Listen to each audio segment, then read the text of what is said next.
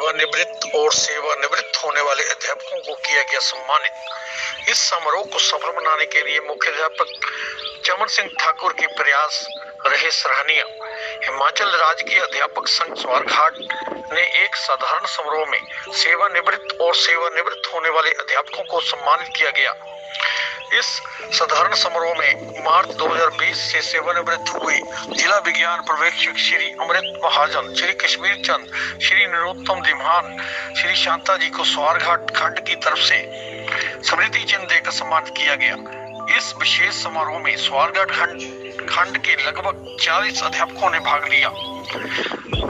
समारोह में पूर्व प्रदेश अध्यक्ष पी आर संख्यान, सेवानिवृत्त प्रधानाचार्य श्री राज्यपाल श्री राम रतन ठाकुर, श्री मस्तराम श्री कर्मदेव गौतम विशेष रूप से उपस्थित रहे। स्वारघाट खंड के प्रधान चिरंजी लाल महासचिव अजय नायक, समस्त कार्यकारिणी इस सम्मान समारोह के आयोजन में अपना महत्वपूर्ण योगदान दिया।